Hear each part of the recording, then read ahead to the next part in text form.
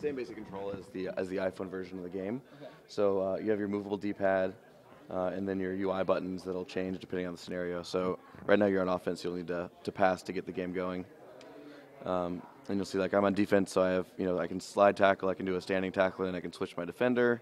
Uh, if you're on offense, you're going to have a pass, uh, a through pass to lead the player, and then a shot. And so, you know, obviously it's uh, it's FIFA, so it's all about competition and, and playing your friends. So now you're you're set up to do that, uh, you know, here on the mobile space. How many players can uh, connect to this? So it's one on one right now.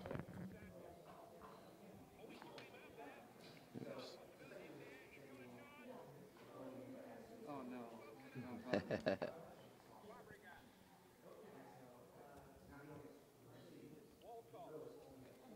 And is this out yet, or is this uh, still in development? So right now this is this is more of a technical prototype. So what we're showing you is FIFA 11 running with this setup, and uh, like an update coming out. so so we're still kind of investigating whether it's going to be something that we do for FIFA 12.